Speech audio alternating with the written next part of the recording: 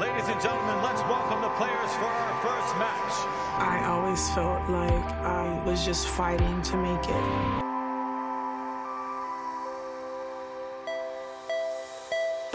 If you were a tennis player, who would you want to be like?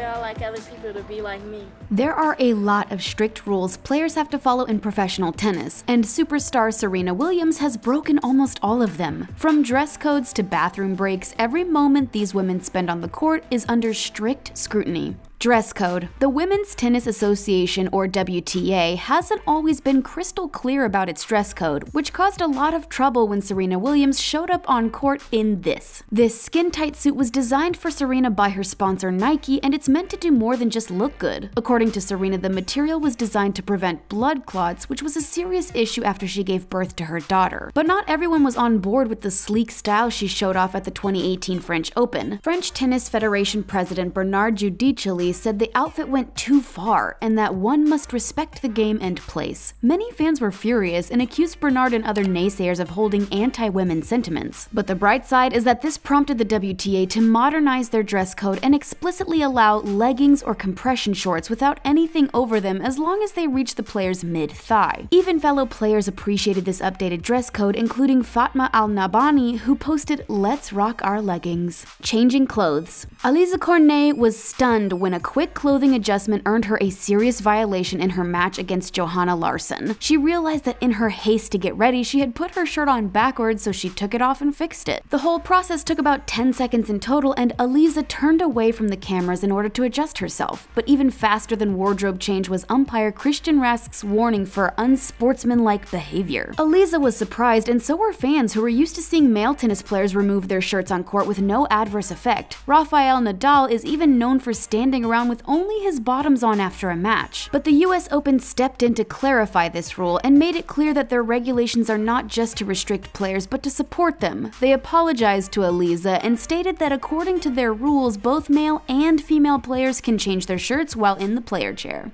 Age restrictions. Coco Gauff made history as the youngest player ever to reach the US Open Girls Final, but her incredibly young age has been a challenge due to certain rules limiting how often she can participate in the sport. According to the WTA, players 13 years and younger can't play in professional tournaments, while 14 to 17 year olds can play limited amounts. Although the rule was designed to protect young players, many feel it's only holding them back, including Coco's father, Corey Gauff. While he acknowledges the good intentions behind the rule, he believes it only protects them from being as good as they can be. When Coco turns 18, she'll finally be able to play an unlimited amount on the WTA Tour. Maternity leave. Players are eager to hold on to their spots on the tennis tour, and a new WTA rule is finally making it easier. Players like Serena Williams and Victoria Azarenka learned firsthand how challenging it can be to get back on the court after giving birth. After Serena had her daughter, she ended up being unseated at the French Open despite winning her previous major. She ended up plummeting to 451 in the rankings, and the WTA is trying to prevent situations like this from occurring. Now, players can use a special ranking when they return to the sport after being away for a year or more. They no longer have to worry about losing their seated positions because they take time to recover after giving birth or sustaining a serious injury. Leveling up. Leveling up in the rankings isn't easy. Just ask tennis player Maria Petrascu. She tried desperately to get her world ranking under 600 but found rules instituted by the International Tennis Federation, or ITF, made it impossible.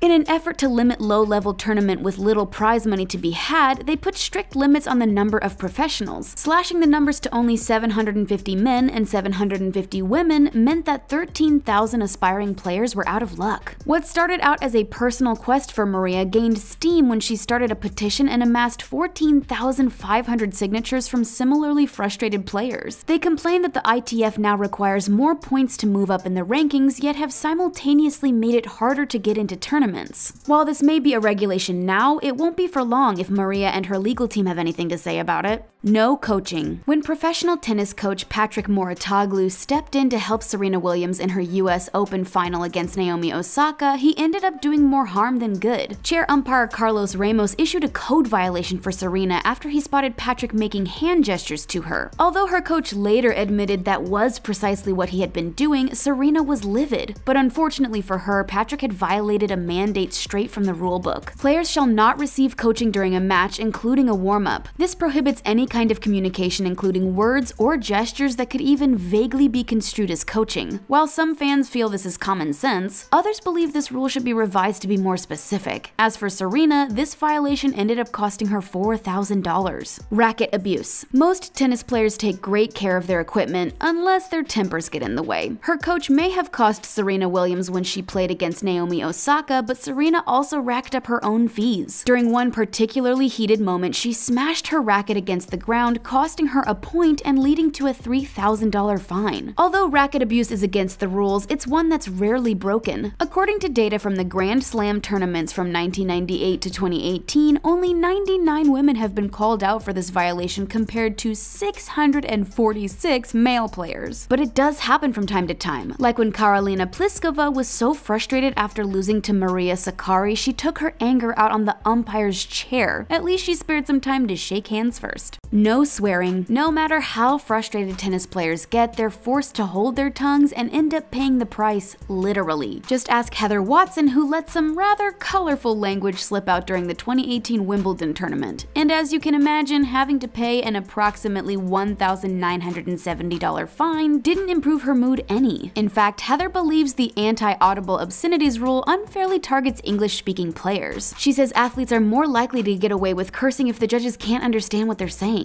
Umpire appreciation. Although some tennis stars may argue with umpires, these rule keepers have a way of fighting back. Serena Williams racked up $17,000 in fines in the 2018 US Open final after she smashed her racket, received coaching, and got into it with chair umpire Carlos Ramos. Afterward, a United States Tennis Association spokesman confirmed that Carlos will no longer be presiding over any matches involving Serena or her sister Venus. Apparently, many umpires were upset that the WTA seemed to be backing the players breaking the rules instead of the people in charge of enforcing them. Serena ended up getting therapy after this now infamous match, which is probably for the best since before long, she might have found herself without an umpire willing to work with her. Unsportsmanlike conduct. Being beaten in a match can be devastating, but Sloane Stephens once claimed that she was literally beaten by her opponent Anastasia Pavlyuchenkova. Sloane accused Anastasia of violating multiple rules regarding tennis decorum during their first match in the 2018 China Open. The US Tennis Association guidelines claim players shouldn't be penalized for accidentally striking one another, but to Sloane and many fans this looked deliberate. But even though Anastasia might have gotten away with breaking this supposedly strict rule, it ultimately didn't do her any good. She still ended up losing the match to Sloane. Delay of game. Tennis matches happen on a strict time schedule, and even something as simple as delaying a game is against the rules, no matter how crazy the reason. Just ask Coco Vandeweghe, who threw a full-blown temper tantrum during the 2018 Australia Open over a banana. Yes, you heard that right, and no, Coco wasn't low on potassium. She demanded this particular fruit before she'd keep playing, delaying the game by 60 seconds and earning herself a violation. Fans were critical of Coco's behavior on the court, but if it makes you feel better, she ended up losing to Timea Babos anyway. In Coco's defense, she claimed to be suffering from the flu and said she had requested to legitimately delay the game without success. Language violation. Tennis umpires are used to people arguing with them, but sometimes even top tier players go too far over the line. After earning her umpire's ire for coaching and racket abuse, Serena accused him of attacking her character and demanded an apology. Arguing with an umpire is a huge no no, and this earned her a penalty for verbal abuse. She even called him a thief and accused him of stealing a point from her. This verbal tirade cost her a 10 grand fine. Banned substances. Most sports have rules against taking performance enhancing substances for obvious reasons, but in the case of Maria Sharapova, things got really complicated. She failed a test at the 2016 Australia Open after meldonium was found in her system. On one hand, it's a prescription heart medication which was legal to use in Russia, the country Maria was representing in tennis. However, in the United States, her country of residency, it's illegal. What should have been a straightforward case was suddenly controversial. Anti-doping expert Don Catlin claimed there was zero evidence meldonium has any performance-enhancing properties, and Maria protested that the rules regarding this substance has been incredibly unclear. In the end, she got a 15-month sanction after appealing an initial 24-month sentence. Bathroom breaks. It might sound strange to police how often grown women use the restroom, but in tennis, it's a real concern. There was a time when players were allowed to take two bathroom breaks per match, but this surprisingly caused a lot of controversy. Simona Halep claimed less than scrupulous players would use these as opportunities to draw out the match. Sloane Stephens agrees and believes that more often than not, these trips to the bathroom are just a part of a strategy instead of a legitimate need. Now, players are limited to only one trip to the restroom per match in order to keep the game moving. Time limits. Tennis fans enjoy watching fast paced matches, and there are rules designed to keep things moving along as quickly as possible. When a chair umpire announces the score, a server only has 25 seconds to start the next point. That means the service motion must be underway before the end of the countdown or it's a violation. At the 2019 Australia Open quarterfinal, Petra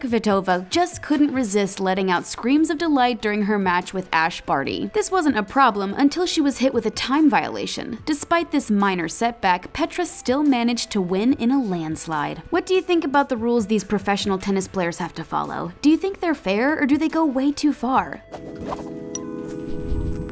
Let us know what you mean in the comment section below and then click on the subscribe button for more videos from the taco. Bye for now.